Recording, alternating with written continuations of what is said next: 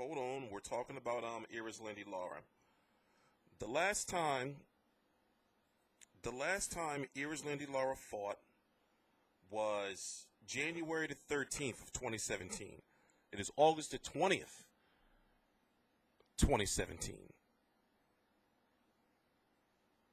And no fight. His last fight just so happens was the last PBC on Spike fight. I miss PBC on Spike. I did a video on that. And it was against, of all people, Yuri Foreman, Fury, uh, Yuri Foreman, where his knee gave out. Again. Or it seems as though it did. I don't know. Last fight before that was um, April 21st of 2016, the rematch, the long overdue rematch that didn't have as much luster on it as if they would have if they would have did an immediate rematch or a rematch even a year later. He fought Vanes Martirosyan before Yuri Foreman. That was um, March, I mean, um, May the 21st, 2016. And that fight was what, four years too late? Four years? The first fight was in 2012. I forgot that. Four years? Then before that, he fought Jan Zaveck. Jan Zaveck, who fought Andre Berto all those years ago, gave Andre Berto a tough fight. Jan Zaveck. Delvin Rodriguez. So, let's go through it again. January of this year, Yuri Foreman. May of last year, Vanes Martirosyan. November of 2015, Jan Zaveck. June of 2015, Delvin Rodriguez. December of 2012, Ishe Smith, and then of course in July of 2014, that highly controversial fight in which I felt Erislandy lost, barely lost. He lost. He, he was defeated because he allowed himself to be defeated. He didn't throw enough punches. He didn't vary up his punch variety. You know, and also he wasn't throwing power shots. It was the argument to me of what punches mean more, the power shots or the jabs. He was out jabbing Canelo, but he was throwing mostly jabs and straight left hands, meaning Erislandy Lara. And he had a beautiful bicycle. You know, and he got some nice little, what, what's that shit called? Pogos, the little trick shit you get on your bike and shit. Probably got a little juice bottle put on the back so when you ride and get the little motorcycle sound.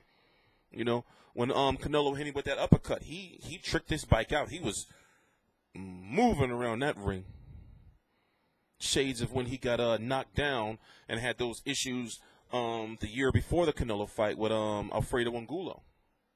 You know? So when you look at the defeats, the two defeats and the two draws on his record, they were controversial losses, but mostly close fights in which he didn't do enough to really secure the win.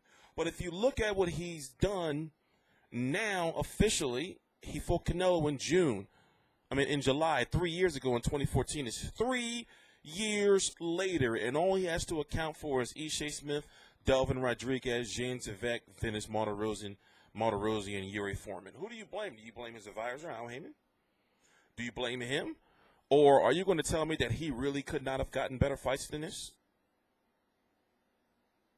Now, I understand, you know, the landscape of the 154 pound division and you know the situation with the Charlos at the time.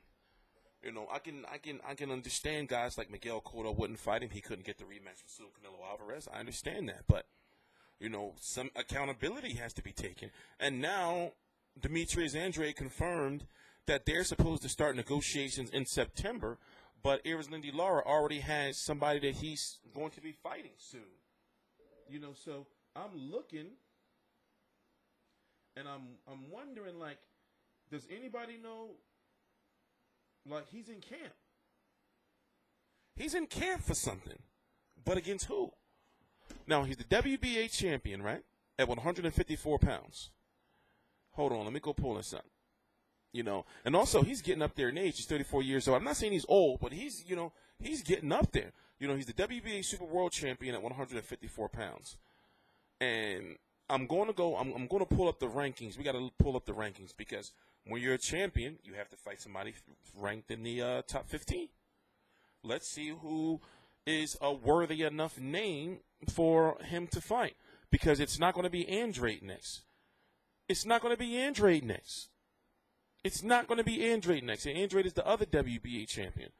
So Andrade at um at um what was the last? Oh, Bruno Garcia. You know, he was voicing his frustrations about it. It's like, yo, why we got to wait till September to, and all that? But he wants David Lemieux. He's talking about 160 now. So when you look at the 154 pound um, um, division, of course you have Jermell Charlo, who's the WBC champion. For some reason, I always get it confused. Is he the one training with Ronnie Shields, or is the one up at um, 160 training with Ronnie Shields, who also trains Erislandy Lara? You know, I always get that confused. I got to make sure I'm, I'm, supposed to know that type of stuff, but I always get that part confused. You know, when you look at uh, Jarrett Swift Hurd, you know, he's supposed to be fighting Austin Trout. Now, Haymon wouldn't put him against him just yet. When you look at the WBO situation, you know, Miguel Cotto is fighting Yoshihiro Kamegai. You know, and that, you know, them, any of them versus Lara is not happening. Maybe a Yoshihiro Kamegai, you know, maybe. You know, and if you're looking at, you know, the 154 pound rankings, for the WBA, you see a guy by the name of Brian Carlos, number one, Castano, number two, Kanat Islam, number three, Jack Huque, number four, Michael Soro, number five, Brandon Cook, number six, Erickson Lubin, who's fighting Jermell Charlo, supposed to be fighting Jermell Charlo on October 7th, number seven, John Verrera, number eight, Terrell Gausha, number nine, Justin DeLoach, number 10, Magomed Kurbanov, number 11, Anthony Germain, number 12, Wilkie Silky Wookie Campfort, Number 13, Nathaniel Gallimore. Number 14, Yuki Nonaka. Number 15, Serhii Rabchanka. Now, who the fuck is he going to fight? Now, will he do, maybe, will he not defend his title, I guess?